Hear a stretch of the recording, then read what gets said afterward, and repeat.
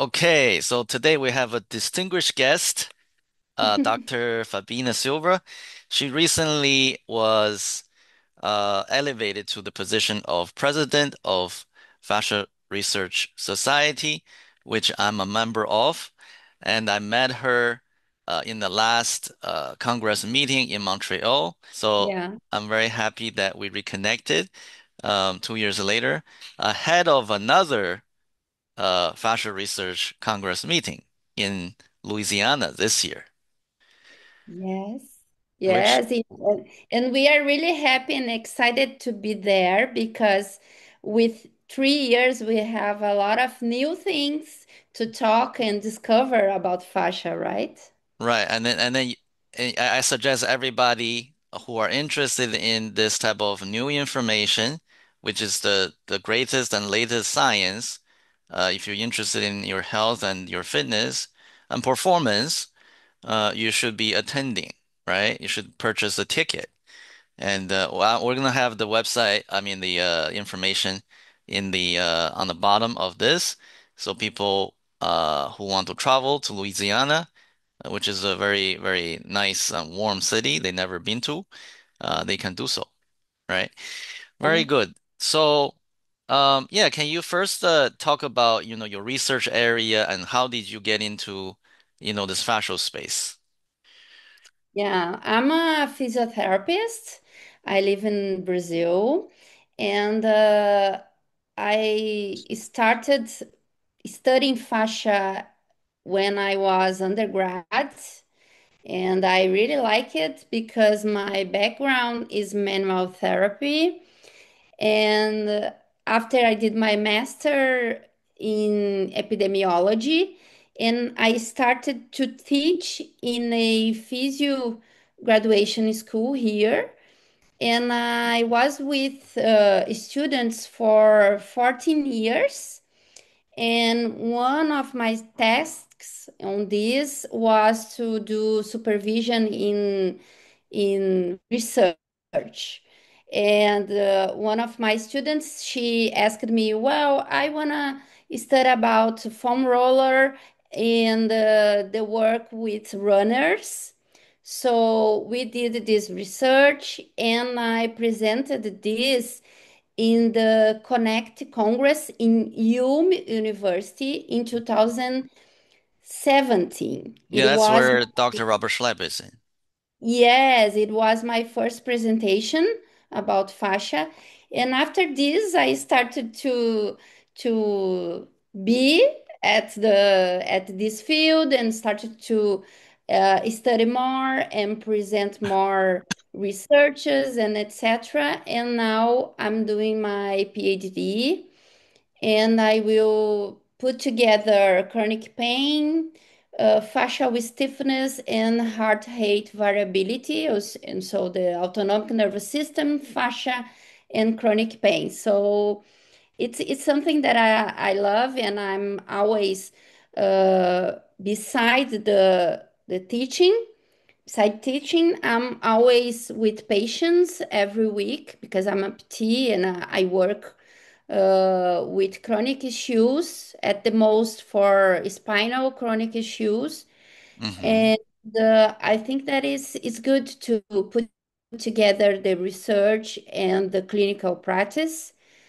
And uh, that's it. It's why I'm in this field because I first because I love and, and on second because I'm trying to navigate in between research and the clinical practice.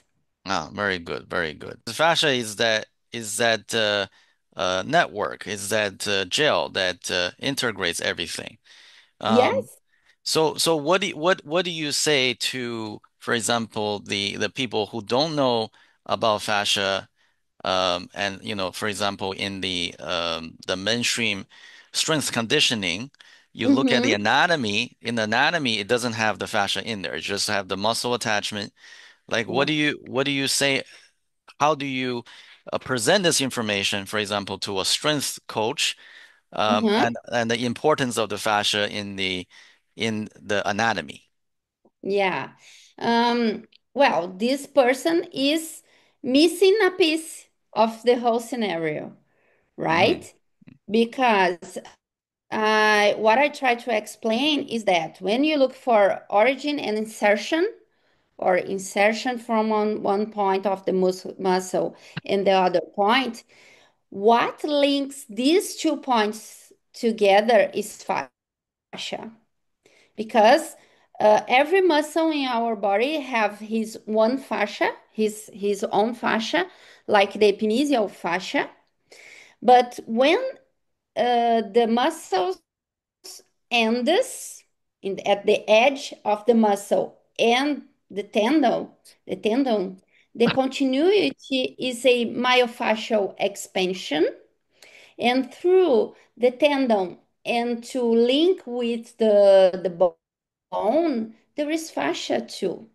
It's my, my first explanation. And other thing that I try to explain is that for doing something like uh, uh, kick uh, one ball or stand up or walk or etc. We we can do this just uh, firing one muscle. We need to fire one group. We need to work with the nervous system too. And so I try to explain the, the concept of the myofascial chains that are group, groups of muscles that work together, not just the old concept about the antagonists. Oh, this muscle do this and the other do in a opposite direction. And I try to explain that they work together. Uh, when you try to strengthen your biceps, for example, your triceps is working together.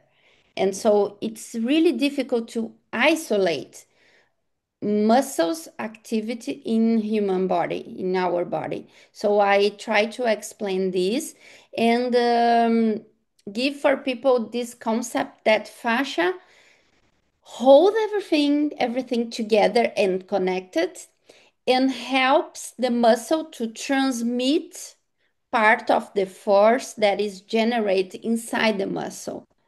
Mm. So, and this is important because the muscles go, uh, they spend a lot of energy and fast.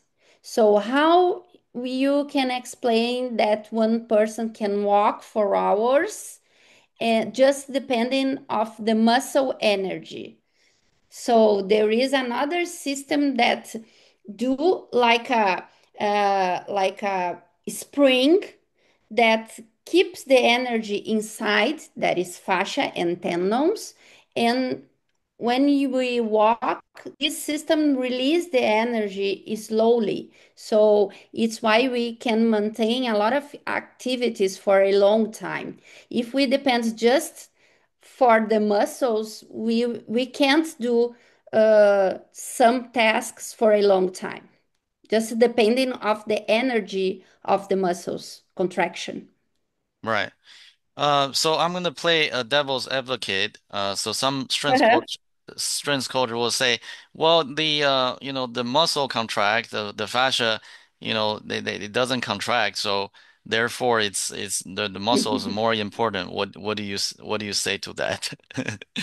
Yeah, something that uh, uh, we learned uh, like in since 2019 is hmm that fascia contracts, but fascia contracts uh, with a contraction more similar to autonomic nervous system, like uh, more similar to visceral components and circulatory system. So it's a contraction that holds everything together, that uh, is one part of something that we we call our postural tonus.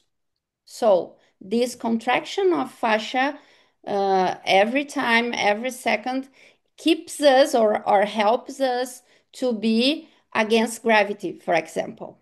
It's like our postural tonus. And when the muscle generates